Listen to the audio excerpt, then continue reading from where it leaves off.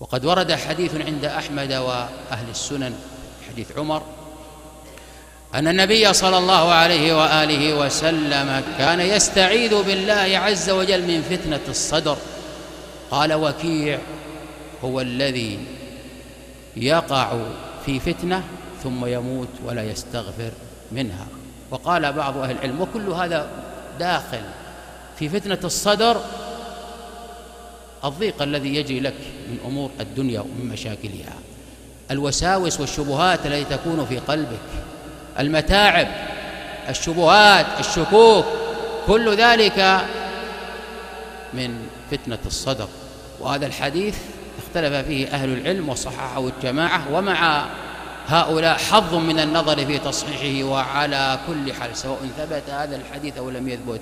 فأنت عبد الله مأمور بأن تسأل الله أن يجنبك الشر وأعظم الشرور أن تفتن في صدرك بشبهات أو بشكوك أو بوساوس أو بضيق لأن الإنسان إذا ضاق صدره قلت عبادته. لكن لو ضاق صدر المسلم فعليه أن يلجأ إلى الله عز وجل فإن مع العسر يسرا إن مع العسر يسرا.